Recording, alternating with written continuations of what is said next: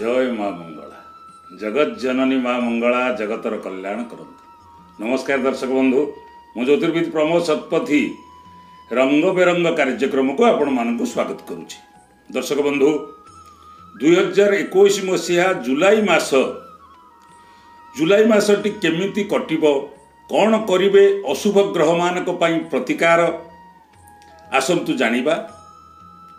ପ୍ରଥମେ ମେଷ ରାଶି। ମେଷ ରାଶି ଜାତ ବ୍ୟକ୍ତିମାନେ ବା ମେଷ ରାଶିରେ ଯେଉଁମାନଙ୍କର ଜନ୍ମ ଯେଉଁମାନେ ରାଶି ନକ୍ଷତ୍ର ବିଷୟରେ ଜାଣିନାହାନ୍ତି ଯେଉଁମାନଙ୍କର ଜାତକ ନାହିଁ ଯଦି ଜନ୍ମ ତାରିଖ ବା ଜନ୍ମ ତିଥି ବିଷୟରେ ଜାଣିଥିବେ ନତୁବା ନାମର ପ୍ରଥମ ଅକ୍ଷର ଯଦି ଚୁ ଚେ ଚୋ ଲା ଲି ଲୁ ଲେ ଲୋ ଆ ହେଇଥାଏ କିମ୍ବା ଯେଉଁମାନଙ୍କର ଯେକୌଣସି ମାସର ନଅ ତାରିଖ ଅଠର ତାରିଖ ସତେଇଶ ତାରିଖରେ କିମ୍ବା ନବମୀ ତିଥିରେ ଜନ୍ମ ହେଇଥିବ ତେବେ ସେମାନଙ୍କର ଅଙ୍କ ଜ୍ୟୋତିଷ ହିସାବରେ ରାଶି ହେବ ମେଷ ରାଶି। ରାଶିର ନକ୍ଷତ୍ର ତିନୋଟି ନକ୍ଷତ୍ର ଭୋଗ ହେବ ଯେଉଁଟାକି ଅଶ୍ୱିନୀ ଦ୍ୱିଜା ଏବଂ କୃତିକା ରାଶି ସ୍ୱାମୀ ହେଉଛନ୍ତି ମଙ୍ଗଳ ମହାଗ୍ରହ। ରାଶିର ଶୁଭ ରଙ୍ଗ ହେଉଛି ନାଲି ରଙ୍ଗ। ରାଶିର ଶୁଭ ବାର ହେଉଛି ସୋମବାର ମଙ୍ଗଳବାର ଗୁରୁବାର। ରାଶିର ଶୁଭ ଦେବତା ହେଉଛନ୍ତି ଶିବ ଭୈରବ ହନୁମାନ। ରାଶିର ଶୁଭ ଦେବୀ ହେଉଛନ୍ତି ମା ମଙ୍ଗଳା। ରାଶିର ବ୍ରତ ଉପବାସ ମଙ୍ଗଳବାରରେ ଯଦି ବ୍ରତ ଉପବାସ କରନ୍ତି ତାହେଲେ ବହୁତ ଭଲ ଫଳ ମିଳିବ। ରାଶିର ଶୁଭ ଅଙ୍କ ବା ସଂଖ୍ୟା ହେଉଛି ନଅ।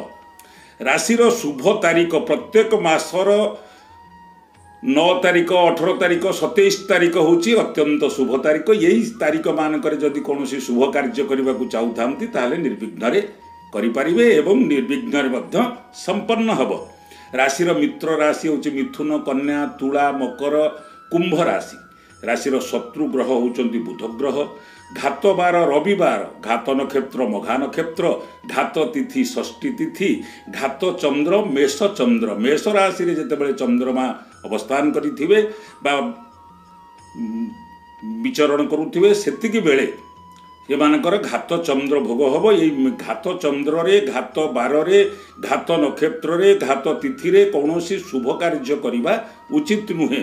ଗୃହାରମ୍ଭ ଯାନ ଆରୋହଣ କିମ୍ବା କ୍ଷୟର ହେବା ବା ଯାନ କ୍ରୟ ବିକ୍ରୟ ବା ଜାଗା କ୍ରୟ ବିକ୍ରୟ ନ କରିବା ଉଚିତ।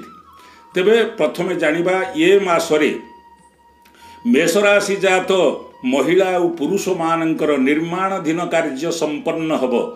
ବ୍ୟାଙ୍କ ବୀମା ନିବେଶ ପରି ଆର୍ଥିକ ଗତିବିଧିରେ ବ୍ୟସ୍ତ ରହିପାରନ୍ତି।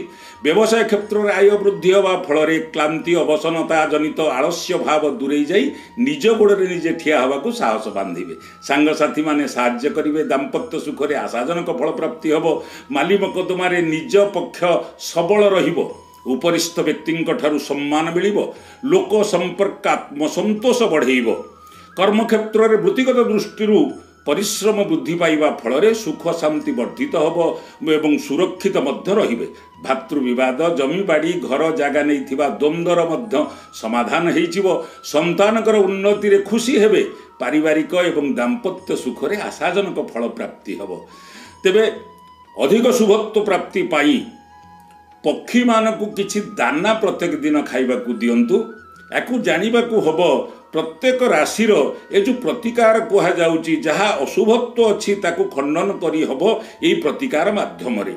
ଏବଂ ଦଶା ଅନ୍ତର୍ଦଶା ପ୍ରତ୍ୟନ୍ତର ଦଶା ଯଦି ଭୋଗ ହେଉଥାଏ ଅଶୁଭ ଅଧିକ ଅଶୁଭତ୍ୱ ନେଇ ତାହେଲେ ନିଶ୍ଚୟ କିଛି ନା କିଛି ଅଶୁଭ ଫଳ ଦେଖାଦେବ। ସେଥିପାଇଁ ଏଇ ପ୍ରତିକାର କରୁଥିଲେ ତାହେଲେ ମାସଟି ସାରା ବହୁତ ଭଲରେ କଟେଇ ଦେଇପାରିବେ କୌଣସି ଅସୁବିଧାର ସମ୍ମୁଖୀନ ହେବେ ନାହିଁ। ଦର୍ଶକ ବନ୍ଧୁ ଏ ତ ଗଲା ମେଷ ରାଶିର ରାଶିଫଳ। ପରବର୍ତ୍ତୀ ଅଧ୍ୟାୟରେ ବୃଷ ରାଶି ବିଷୟରେ ଆଲୋଚନା କରିବା। ଜଗଜ୍ଜନନୀ ମା ମଙ୍ଗଳା ଆପଣମାନଙ୍କର ଆଶା ଅଭିଳାଷ ପୂରଣ କରନ୍ତୁ। ଏତିକି କାମନା କରି ରହୁଛି। ଜୟ ମା ମଙ୍ଗଳା।